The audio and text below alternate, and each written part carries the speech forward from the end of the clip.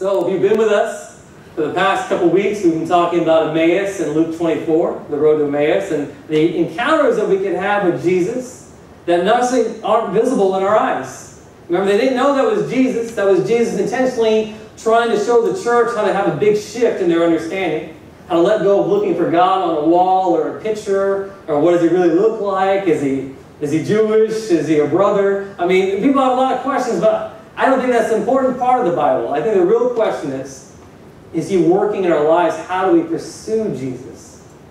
And last week we talked about the brother's keeper. A brother's keeper, you remember, was the idea that the commandment of God to love the Lord your God with all your heart, mind, soul, and strength. These things hang all the laws. And then what was the second aspect? To love our neighbor, right, as ourselves. And so inherently, God says these two things are extremely important to Him. And I hope that you guys would encourage and maybe even challenged to go beyond what I feel like what happens in Western society is a very self-centered gather up all you can, like a guy with a money bag. He's kind of just getting everything he can before he goes home. I don't know if God is very pleased with that. And people say, oh, well, that's not the Christian mindset. Friends, I beg to differ. Sometimes there are believers that get caught up in their own needs. And we tend to just leave out our brother and our sisters.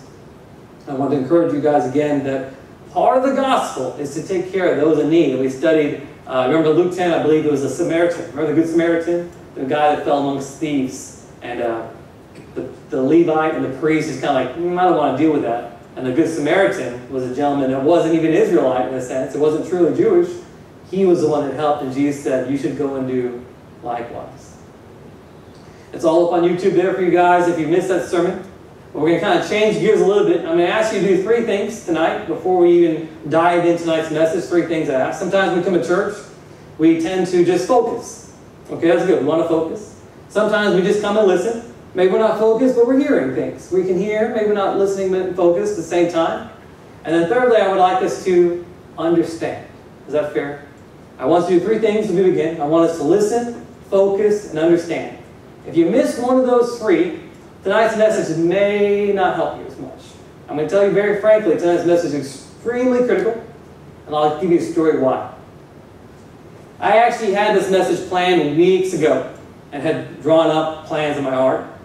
And in this last week, because I was going to deliver this message this week, I cannot tell you how many, I should say the word encounters or conversations with people that this message is for. It's not like I wrote this sermon, bear with me, I didn't write this sermon to talk to anybody, if that makes sense. I had this sermon written weeks ago, but it just so happened that in this past week, every conversation, every encounter I've had with people, it was like this sermon was that conversation. Does that make sense what I'm saying?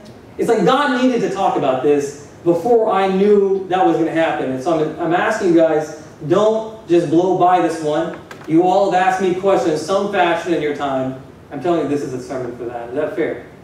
So what's the agenda? One more story, and we'll get started. This story is a little bit more lighthearted. There was a construction worker. If you're familiar with the construction world outside in the industrial part of town, they're more hourly workers. They're not necessarily salary guys. Jobs just come and go. Construction guys just kind of go from job to job. And there was a lot of construction going on in this field, and so much so that they said, let's hire a helper. I don't know if you ever heard the term a helper. It's typically a guy that's not technical. He's not a degreed man. He doesn't have a technical certification. He's just a laborer. And so they brought in a young man, nice guy. And so he joined, and what he would do is just help the technical people do their job. Maybe some painting when the welding's done, maybe some tool work, maybe some grinding. Non-skilled labor. Hourly guy, fairly entry-level job. But what this guy did very interestingly, though, because he did not have any experience in the field and pretty much came from a bad situation, he began to ask everybody at that job site methodically a couple questions. What's your job? How much does it pay? And how do you get it? What's your job? How much does it pay? And how do you get that job?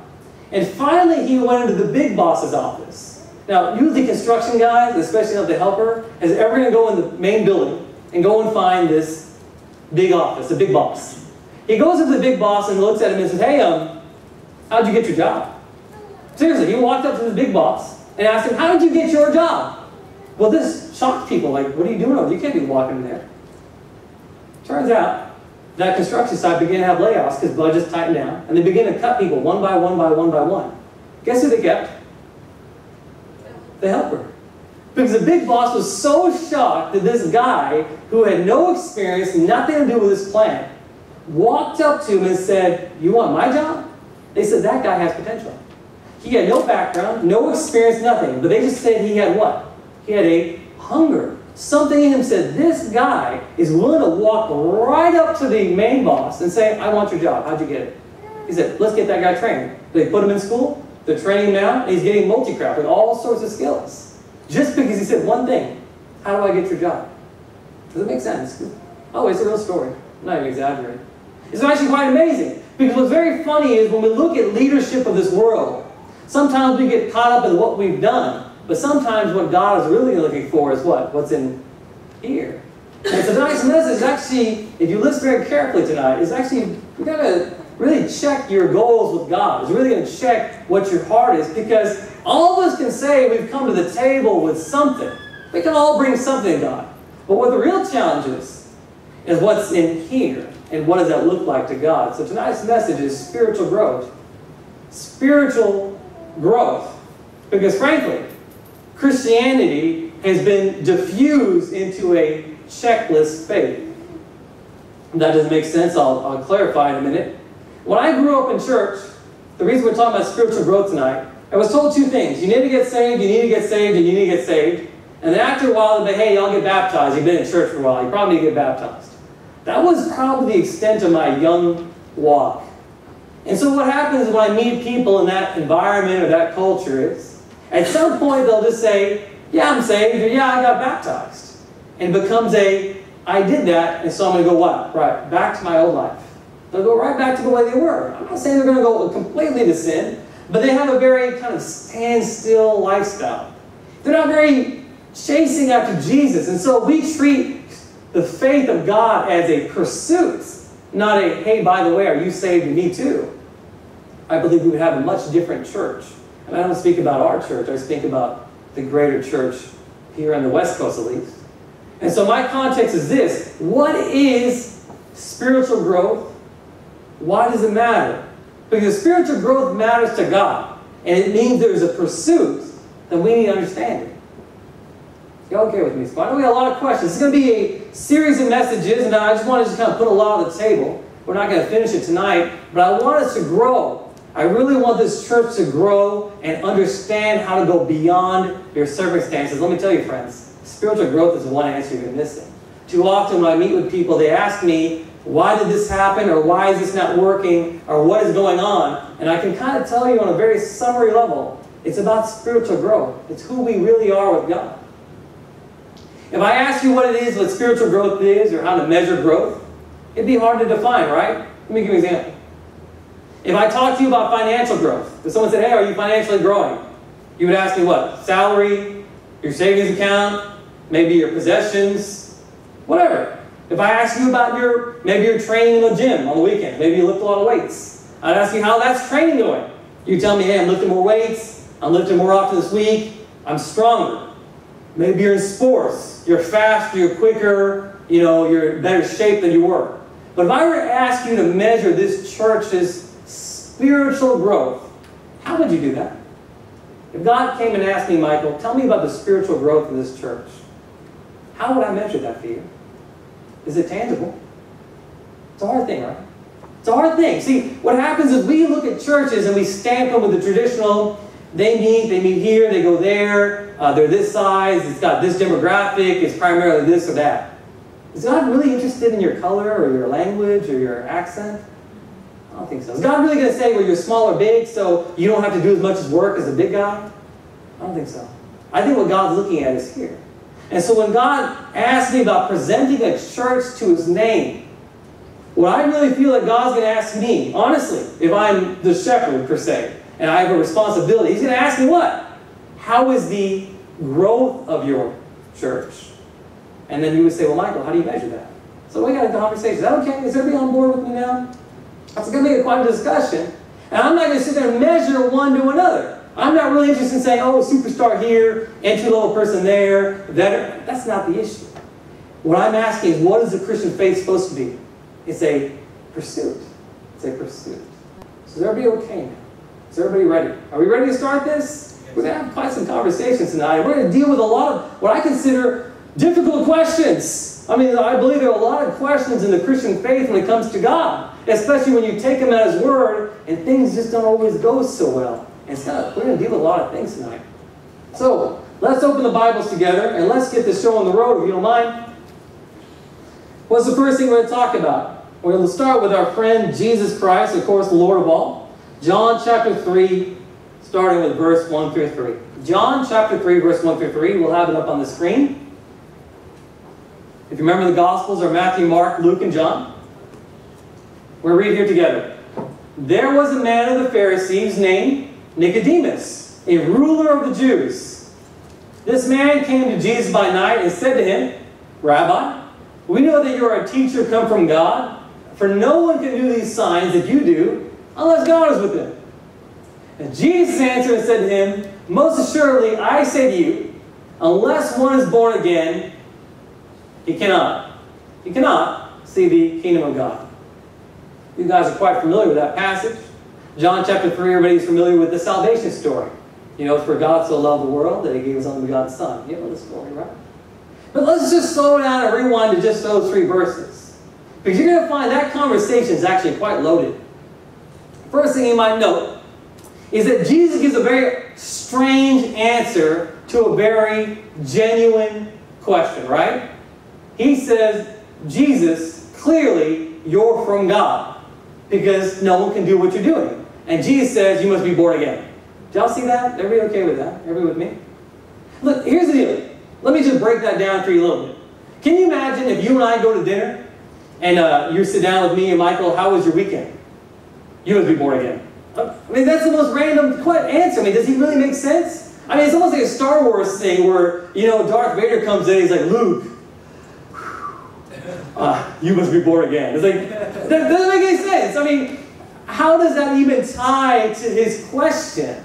I can imagine going through a Chick-fil-A drive-through, you know, can I get an order for you? I'm like, yeah, you must be born again. It, it, it, there's no context. So why is Jesus saying something so randomly? Is everybody okay with that? I mean, I think it's a weird answer. But I believe that as we study this together, you're going to make sense of this. So let's go back to verse 1, and let's not skim past this, because I warn people, when you read Scripture, understand what you just read. Look at this. Read very carefully. Who is Nicodemus? We'll call him Nick for short. Who is Nick? He's a Pharisee and a what? Ruler. Now he's meeting a guy that is basically a carpenter's son. Don't you hear that? They don't really think Jesus is God, okay? So he's just a dude. And the Pharisees, in my understanding, would be very royally dressed. They want you to know they're a Pharisee. And here's a guy that was probably living on the streets at this point, walks in, and this guy is supposed to be the king of all kings, in a sense, spiritually. So if you had a theocratic, like a theological ladder, Nicodemus here is at the top, and Jesus doesn't fit anywhere in their chain because it says that he was a ruler. That means he was high up in his organization. And so he meets with Jesus privately and says, This doesn't make sense. I'm the ruler, you're the carpenter's son. Why are you doing such great miracles? You're just a man. Look at verse 2. But clearly, we know that you're a teacher and you can't do this unless God is with you. So inherently, what he's asking is, spiritually, you've attained to something. He wants to know. If you don't think they're having a conversation, what time did they meet? Did they meet in broad daylight with some friends at Starbucks? No, they're hiding this conversation. This guy is at the top of his peak, and he's not making it to this guy, and Jesus says, You don't even know where to start. So what does Jesus answer him saying? You gotta do what? You gotta start over. Everybody catch that? You must be born again. You're gonna have to start over. See, at the very foundation of spiritual growth, which is the topic tonight, this is the hardest thing for the church to, to really grasp and receive. If you want to be like Jesus, step one is what? Start over. Think about it. This man has run circles around all of us as far as this Pharisee in his context. If you were to look at the church today, he'd be like an archbishop over all the guys, or maybe be a lead apostle, or whatever term you want to use. And he doesn't understand how this guy has grown immensely, other than God must be with you. Well, does this guy think God isn't with the Pharisees? I mean, when the Pharisees think God's with him, they don't understand how he's doing this. And Jesus gives him a very odd answer. So now does it seem very odd? All he's saying is, you can't ask me about the kingdom. You can't ask me about healing or casting demons out or laying hands or prophesying or walking on water or miracles until we do one thing. We got to start with step one. Does that make sense? Sometimes we have very zealous believers, and that's a good thing to have zealous believers. And they come see a minister do something very amazing, and they're like, oh my gosh, I would like to do that too. And this guy says, okay, well that's good, but Jesus might tell you, hey, it's probably time to start over. Is that okay? I'm not trying to hurt anybody. I want you to remember something. This was written long before I talked to anybody. This is not a rebuttal to any conversation I've had. It's not personal. But I'm telling you very clearly, God might be talking to somebody saying, hey, hey, hit the brakes. It's time to start from scratch. Is that, is that my offend you? I don't know. You know, again. He says you must be born again. So, it's okay.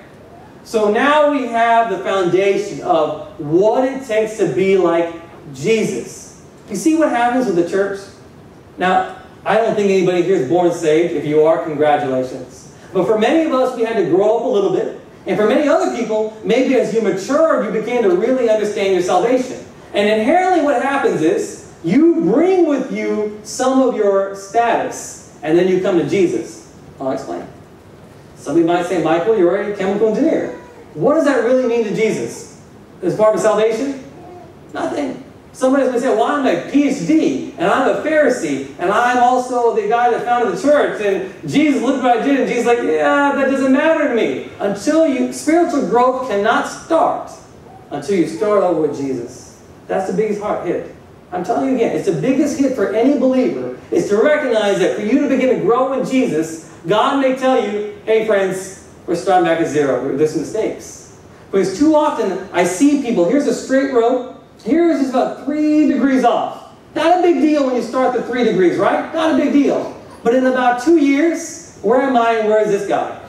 So I'll catch that one more time. I have a circle. I have straight zero degrees. I have three degrees off. Not a big deal. A week later, me and you are cool. Two weeks later, you say something funny. Ah, it's cool. Three years later, I'm like, I don't even know you. You're talking strange things. That's why Jesus sometimes comes and tells you, hey, friend, let's come back to zero. Is that okay? Okay. So, let's keep moving on for time's sake. What's the real deal here? Does Jesus play by his own rules? I think so. I believe that when Jesus is teaching Nicodemus that you must be born again, you must start from scratch, I believe that Jesus himself gave us the lifestyle we should follow. So to do that, let's go back a little bit story. Let's go back in time to Luke chapter 2, if you don't mind. We're going to understand how this works. Luke chapter 2, verse 45 through 52. Now we're talking spiritual growth. And God is going to show us in Scripture how we can become like Jesus. Now, I mean that in the sense that we should serve God in the fullest extent. He's our God, we're His servants. So it reads here. So when they did not find him, let me back up just a little bit. You remember the family of Jesus? Jesus is a young boy at this point. They cruise on over to Jerusalem, and they have the census, and they dedicate him, or whatever, all stuff, and they come back, and they miss Jesus. I hope everybody remembers that, Luke 2. So the parents have lost Jesus. Why? Because he stuck back. So let's read verse 45. So when they did not find him, they returned to Jerusalem seeking him. Now it was so that after three days they found him in the temple, sitting in the midst of the teachers, both listening to them and asking them questions. And all who heard him were astonished at his understanding and answers. So when they saw him, they were amazed, and his mother said to him, Son, why have you done this to us? Look, your father and I have sought you anxiously. And he said to them, Why did you seek me? Did you not know that I must be about my father's business? Now remember, he's just a boy. But they did not understand the statement which he spoke to them. That he went down with them and came to Nazareth and was subject to them, but his mother kept all these things in her heart. Now read this verse carefully. And Jesus what? Increased in wisdom, stature, and in favor with God and men. Don't catch the story. Let's just repeat a little bit. The parents take a young Jesus over back to Jerusalem. They have their thing. Jesus hangs around in the temple, and he's talking at a level where the Pharisees and Sadducees are astonished that he can ask questions and answer things far beyond them. How old is Jesus, by explain? How old is he? Young, right? 12, 15, something. But not 30. So there is something in Jesus that has clearly grown beyond his age.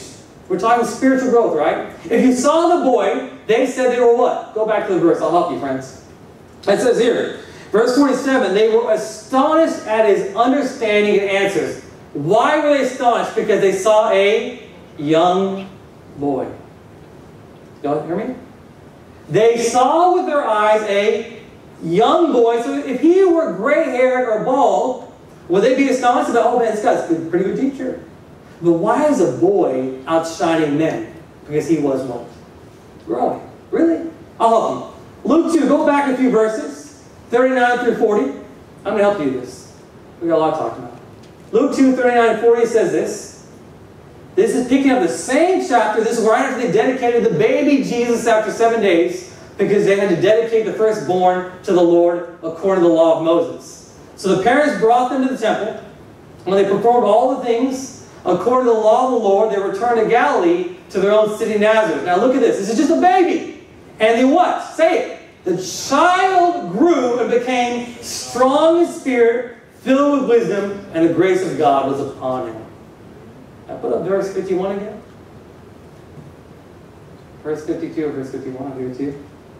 It's 52, I'm sorry. And he increased. How do you increase when you started somewhere? So what do we have? The, the child began to see the strength of God even at such a young age, and then later in his life it continues to increase. Does everybody see that yet? How do you increase when you have nothing? You don't. What did Jesus do even as a young, young child? And go back to verse 40 again. I want you to see this. We're talking spiritual growth, friends. Don't let remember what I asked you this week. You have to understand, listen, and focus. Otherwise, you're going to miss this. Verse 40. The child grew and became, what's the word? Strong in spirit. A child. Too often in churches, what do you do? You look around, like, hmm, that's a child, that's a girl, ooh, that person never been in church because they got a tattoo, that guy, he's not dressed nice, he's not wearing a suit. That's what the world does. That's why I said, when you come to me and God would ask you, how do you measure spiritual growth? You do what? Well, he's got a big Bible. That's a pretty fancy cross around his neck. He, he quoted the verse. He, oh, he quoted the verse number. That's it. He, he's made it. I don't think, friends, that that's how God looks at us. How does this make sense? Uh, the boy Jesus is looking at Scripture and understanding things at a level that people say, How did you do that? How many of you guys want to understand that tonight? How many of you guys want to walk in that level? That's what we're doing. I want this church. I'm not raising children for the rest of my life. No offense. I want to raise up mighty men and God women. If you miss this message, you say, oh, Michael, that's offensive, man, you're really going to miss the bus on this. I need you just to kind of put down whatever you've decided that you've achieved with God, and let's just start at zero and grow. Maybe you're already ahead of me. Just bear with the audience, and let's all come together, just like Moses, and let's get out of Egypt. That's what I want to do. I believe we can do this together. It says here that the child grew and became strong in spirit, filled with wisdom, and the grace of God was upon him. And you jump back to verse 52, it said he increased. He only increased. Go again to verse 52. Jesus increased of wisdom and stature and favor with God and men. So, how do we get into that? I want to. I want us to grow and increase. I want us to be strong in the Spirit. I do not want to see believers pushed around like trees in the wind with no hope against the powers of evil. I want us to be strong like Jesus, and I believe that this is the answer.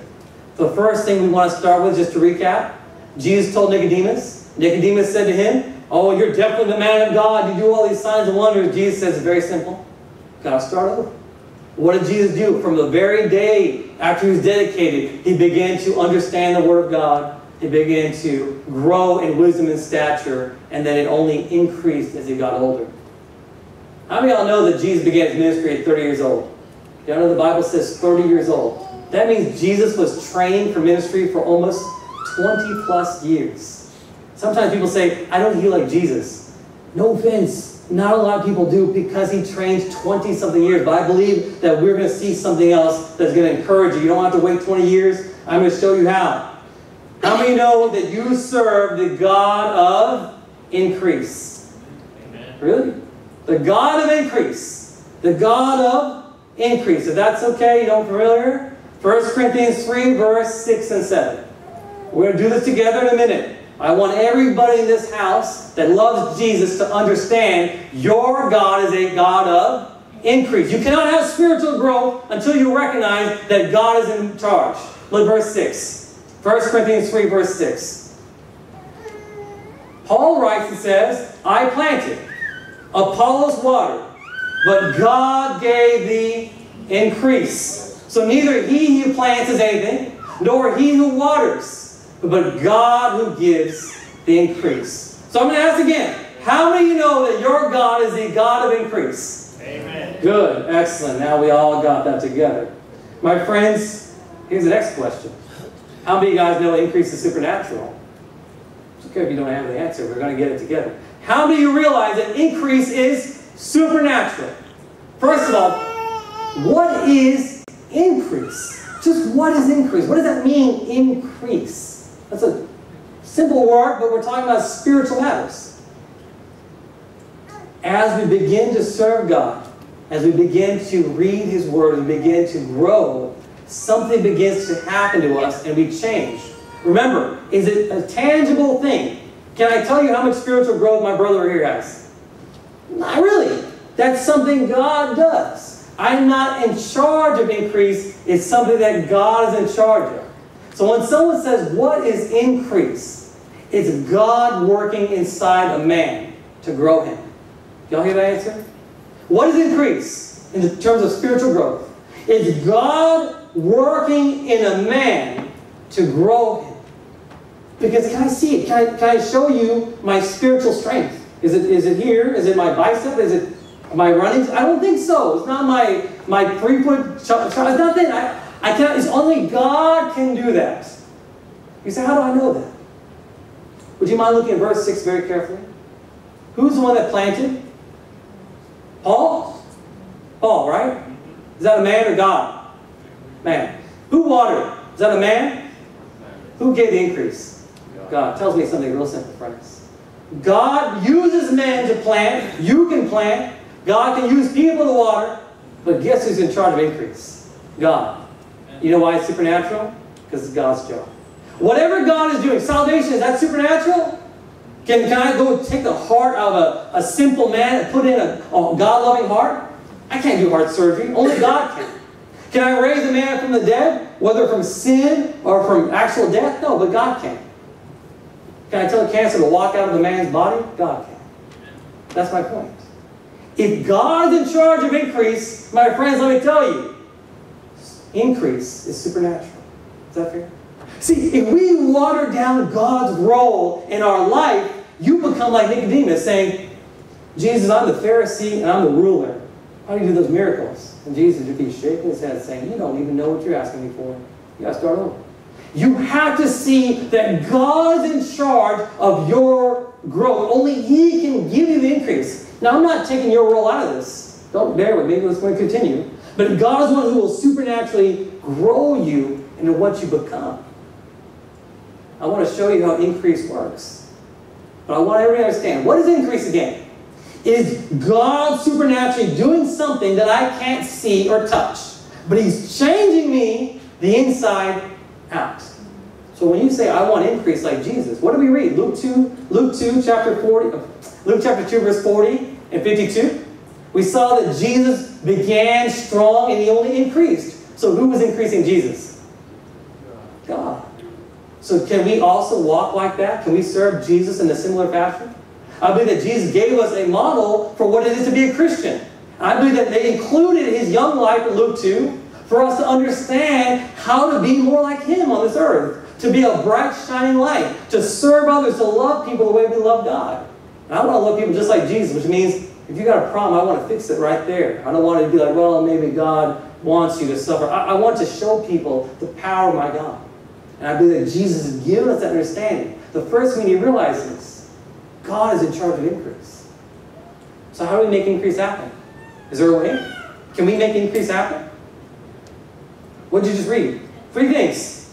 I must plant, then I must water, and then increase will come. Awesome job, guys. Awesome job. Now I must plant, I must water, and then it will increase. I must plant, I must water, then it'll increase. I'll tell you a quick story.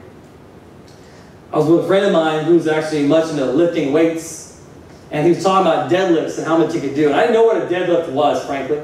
You're familiar with a deadlift, basically you just have the weight on the ground, you have a whole lot of weight, and you stand there and you pick up to your knees, clear the weight, and drop it. And this so happened the guys we were watching were lifting like 800 to 1,000 pounds. 1,000 pounds. The dude lifts 1,000 pounds. Big old guys whose shoulders are probably twice as wide as mine. But it wasn't the lift that, that really interested me. It wasn't the fact that he lifted a thousand. Oh, that's amazing. You should see what these guys did before they lifted. They were jumping up and down, they were stretching, they were moving their legs, they were turning, they were hitting each other, they were patting, they were grabbing each other, and they were prepping each other. You know what's sad? I think they're more dedicated to their stuff than we are to God sometimes. I'm not trying to spit on the church. I'm just saying, you took those guys and you took that dedication to lift 1,000 pounds, and you see how energetic and how dedicated and how much of their physical body they would throw at something to pick up that weight. And then we come to faith, it's like, well, I know, God. I'm waiting on God. Waiting on God, waiting on God. Nothing's happening, waiting on God. And the other dude's like, why don't you just pick up your weight, dog? Just pick it up. I'm like, oh, that's a lot of weight. He's like, yeah, it is. 800 pounds is a lot of weight. You know what I did? I just trained. I heard another funny story about this whole thing. Y'all know who Arnold Schwarzenegger is, right? You know he's like a multi-guy, multi-talent, uh, Mr. Olympia, Mr. Universe? He was like multi-talent. He was just one of the top winners ever in the history of that sport. They said they were working out with him at the gym back in his younger days. And it was late at night, and everybody was getting up and going home. He looked at them and said, What are you doing? It's time to get serious. He, he was just shocked, like, How did you leave? The guy's like, It's midnight, dude. We're going home. I think for the church to come serious with spiritual growth, you really got to decide how big do I want to be? I'm a guy, okay, bear with the analogy. I mean, how big do you want to be? Do you just want to be a lightweight and every time some bully comes over, the spiritual bully of fever or sickness or job loss or trouble or whatever else and tragedy, like, ah, I guess I gotta just sing, it's well with my soul. I believe that Jesus gives us victory over these things. If you remember, as well is actually a reference from Elijah when she lost her son. Do you know why she said it was well? Because she thought the man of God's to raise her son. That's why she said it's well. Sidetrack. Let's go back to this. Here's the deal. God wants us to increase, we want to grow, and we want to follow the three steps. Planting, watering, and increase. Now friends, I'm telling you, you see these guys lift weight, they're a lot more alert than us. I'm just saying. What does planting mean? What is planting? Planting is one of the most favorite analogies from Jesus. If you've ever studied the Gospels, you'll see that in those four Gospels, he loves that farming analogy more than anything. He really talks about planting and watering and seeds and harvest and all this stuff. So he tells a story in Mark chapter 4, verses 1 through 9, I believe. We're not going to read it just yet, but he basically tells us what it is to plant.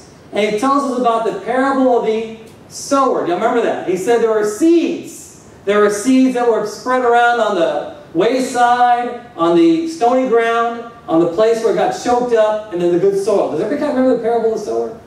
And who was the sower? Jesus. And what was he sowing? The Word of God. Is that right? So when he talks about planting, what is the Bible really saying? What are you planting in your soul? The Word of God. Is that not true? Are you not planting the Word of God? Look again at Mark chapter 4, 13 through 14. Let me help you guys and see some blank skips. Write this in your notes if you're saying, I don't know what he just said. Please put in notes. Mark 4, 1 through 9, the parable of the sower. Now, for the time's sake, we're going to go to the question. The disciples asked Jesus, What do you mean? What is this whole parable? What's this whole sowing story? What's up with the farming? Jesus said to them, Don't you understand this parable? If you don't understand this, how will you understand all parables? So go to verse 14. The sower sows the word. So when we talk about planting, when we talk about chasing after Jesus, the first thing to get increase from God is we must plant the holy word of God in us. Now, Paul says he planted in the people in Corinth, but you can plant in yourself and you can plant in others. Is everybody okay? The Word of God must be planted in your soul. I'm going to ask you this, friends. And I'm not calling anybody out. I'm not even asking you to stand up and answer me. But if I were to ask you, how much of the Word of God is planted in your soul? 50? 25? 75? Or? How much of the Word of God is planted in your soul? That's your choice. For spiritual growth to increase, you have a say about that, do you not? Was Paul a man? Are you human? Sounds like you got a job to plant. So I want to see the increase of God. I've got a responsibility. Sounds like to get over there, I got to start walking like this. I need to start walking over to my goal. To serve God greatly, I must plant the Word of God. I've told you many times, there is no secret to serving God other than the Word of God. There's just no other better route. You can chase after all these anointings and miracles. Great, great, great. But they're going to point you back to Jesus. That's all they're going to do. And if you shortchange yourself, man, I'm sorry, friends. You're just if you miss the Bible, you're just you're just missing the biggest chain that's going to hold all this together. You're going to get lost. You're going to get caught up in bad doctrine, and you won't know your way around. Jesus told them very clearly, you must understand the Word of God. So what is planting again? The Word of God inside our soul. Now, as word this again, I'll remind you, some of us don't necessarily plant the Word of God in good ground. That means that we should always be careful to read with a focus, with an understanding, with a purpose. Don't just read to read. Too often we find people that read the Bible for just the sake of saying, yeah, I read that. I read Samuel. I read Joseph. I read about uh, Luke. But then you don't even know who's who. And if somebody brings it up, you kind of nod and then you silently you're in your mind you're thinking, what are they saying? All of us should be accountable to our own understanding of the Word of God. You can't say, but he said, or I got a good sermon on that, or I know a friend that can help you. Why don't you be the person that represents Jesus in the friend's life? I'll say it again. Why don't you be the person that represents Jesus the most in your life? Not your pastor, not your best friend, not your favorite YouTube link. You should be the one that represents Jesus the most. I'm sorry, that's the truth. Next step watering. What is water? Remember, we're talking about what are the three steps? We must plant, we must water, and then God will give the increase and we can grow as a church. What is watering? Friends, I don't know if you've ever seen my backyard, but it's kind of rough some days. And there was a season in which my wife and I decided to buy a bunch of trees and pots and plants and things, all kinds of fruits. Now, they didn't get to see a lot of water. They're there, but you won't find them. You might see some dead branches, some empty pots, and some decayed pot. I mean, like, literally, it's just bad. What did we neglect to do? We never watered them. They were in the backyard, out of sight, out of mind, and slowly there goes all that money. That's okay. I was, it's a good sermon point. We, we don't go back to what we read and we do not water what we read, does it have any effect? Is there any fruit? Someone tells me, yeah, I read Isaiah. Oh, you did? When did you do that? Oh, back in 2006, there was a big revival, and I read Isaiah. It's 2017. Maybe you don't remember it as well anymore. Somebody says, yeah, I used to read the Bible all the time. I'm like, if the word starts with used to, or I remember that from years ago, you probably aren't watering your plants, and they're probably dead. I'm just saying. That's why Jesus specifically says you must what? Water the plant. You must water the seed. If you will not refresh the Word of God in your soul, why do you expect it to do anything? I can't tell you how many times I had a very severe trial in my life, and after asking God, saying, Tell me the answer, you know what his three words were? You know what his three words were to me? Read it again. That was it. You know, oh, you hear from God. Oh, well, it must be easy. Oh, really? It's usually, hey, read it again. You didn't read it properly.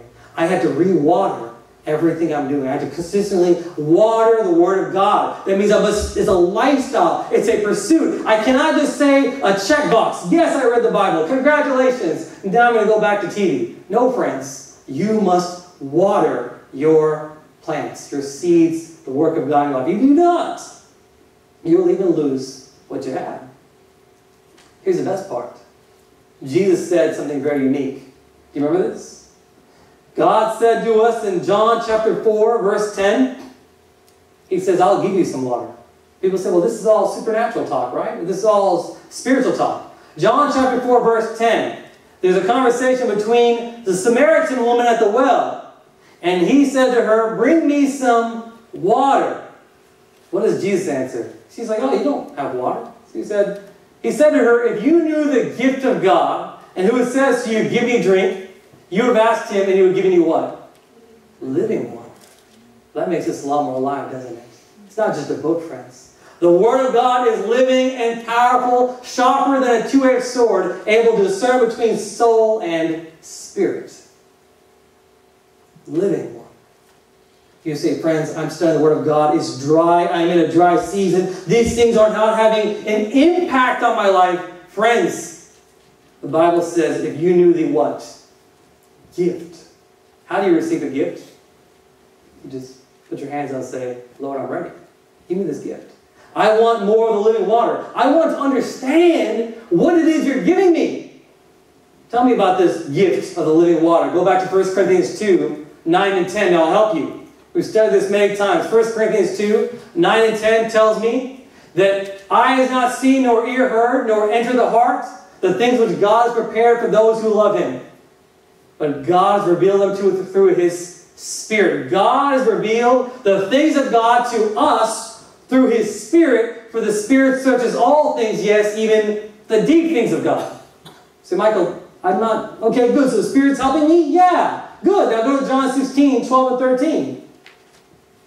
John 16, 12 and 13 tells me, Jesus says, I have many things to say to you, but you can't even bear them. But don't worry.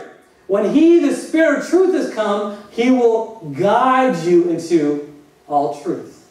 So, what does living water do? It waters the Word of God so that I can understand. Is that a simple formula? So, we have planting. Who's the one planting? Jesus. Who's the one who waters? The Holy Spirit. So, guess whose turn is the increase? God. One more time. Jesus taught the Word of God as a human being to people. It's in the Gospels a man named Jesus Christ. He said, If you ask me, I'll give you the gift of living water. It will water what I taught you so that you can understand. Now, if I plant and I water, what has to happen? Ah. Go with me to Mark chapter 4. What did I say increases? Increases what? Super Natural. Think about it. Increase is supernatural. We're going to talk about the supernatural power of God for increase. Mark 4 is 26 to 29. Stay with me, guys. Let's, come on, we got to stay sharp with this. And he said, this is Jesus teaching, the kingdom of God is if a man should scatter seed on the ground, and he should sleep by night and rise by day, and the seed should sprout and grow. He himself does not know how. Stop there. Put those two verses up, 27 20. You, you got to see this. Jesus said, the gospel seed, the kingdom seed of God, is as if a man should scatter, there's that word, seed, and should sleep by night and rise by day. And the seed what? Begins to sprout and grow. And he himself does not know how. There's an increase discussion here. God's about to teach you on the power of increase. Now go to the next verse so we understand together. 28. For the earth yields crops by itself First the blade, then the head, after that the full grain of the head. But when the grain ripens, immediately he puts a sickle because the harvest has come. Tell me something, friends. Who are you in that story? Verse 28. You're designed to receive seed. So you are the what? Who are you? The earth. It said the earth is ready to receive seed, and then it begins to grow a blade, and it begins to become a grain. But Jesus is talking about sowing the word into who? us. So he said it is like the earth. So who is the earth? We are the ones who receive the teaching of God. And it says we go to sleep, but we don't know how it's changing. How do I measure spiritual growth? I can't see it, friends. You can't tell me Michael's any bigger after doing the sermon, but you can bet I got bigger during the sermon. Y'all see that? You can believe that as you study the Word of God and you begin to make an understanding and you teach the Word of God, something's happening. You don't know why it is. Jesus said, Let me teach you the power of increase. It's like a farmer who plants seed. And as he goes to bed, he gets up, he's like, Hey, it's bigger. Y'all see that? I hope you understand increase. Increase is supernatural. It says the earth yields crop by itself. Why? Who designed the earth? God. Who designed you? God. He made you to increase. God has designed you for this. As the earth is a figure, a parable, to receive a, a crop, to receive a seed, and mature and it blooms. Can I plant seeds in this pew? Maybe. I don't know how you're going to do it. It'd be pretty hard. But if I plant seeds in the ground, it grows. Can I plant the Word of God into a dead man? No, but if I plant the Word of God in a believer, the child of God, it will increase. That's the supernatural part. Y'all see that? You were designed that way. You were made to receive the Word of God. When I meet people that say they do not read the Word of God, friend, you are starving yourself. Matthew 4, verse 4 Man does not live by bread alone, but by every word that proceeds from the mouth of God. Jesus told the devil that. I said, You have no business in me. Children of God, we have got to learn what it is to grow in the eyes of Jesus. And God's teaching us the Word of God is the foundation of every one of our lives. But then he said the gift of God is a spirit, so it can reveal to us His Word. And then something happens. As we receive the Word of God, as the Holy Spirit reveals it to us, something changes. And suddenly, I've grown. I'm bigger than I was. I'm stronger than what I was the day before. You know what 2 Corinthians 4? It says the flesh wastes away, but the spirit is renewed day by day. Every day in the spirit, I am growing stronger. Let me tell you again, friends, Jesus said the flesh profits nothing, but the spirit is life. And the words that I speak to you, they are spirit and they are life. Jesus said this is the answer to every need. This is the answer to your needs. The Word of God must grow in you. You must grow in strength. We're almost done, friends. I want you to see something very clearly. What happens when growth is ready? What's that last part? Immediately he puts in the sickle because the harvest has come. Friends, if you don't know what harvest means, I want you to listen to me very carefully. What does it mean to harvest the Word of God? What was the picture Jesus gave? He said, I'm a farmer. I've labored, I've labored, I've, I've, I've matured the ground, I've cultivated it, I opened it up, I planted good soil, I put the Word of God in there, I've watered it with the Spirit, it's growing. Did I just go back and say, hmm, that's a good teaching? That was a good sermon. I enjoyed that. What does Jesus say you should do now? I must take it. Do you hear me? I must harvest that for me. I must receive the word of God in me. I see the full grown grain. I must take this in. How to, are you confused? It's okay. I'll give you another answer. 2 Timothy 2. 2 Timothy 2, 6 and 7. 2 Timothy 2, verse 6 says what? The hardworking farmer must be first to partake of the crops. Verse 7, consider what I say, and may the Lord give you understanding in all things when we are plowing, when we are seeking the Word of God, when we're planting, when we are watering with the Holy Spirit, at some point this teaching comes alive. I, I need to take it.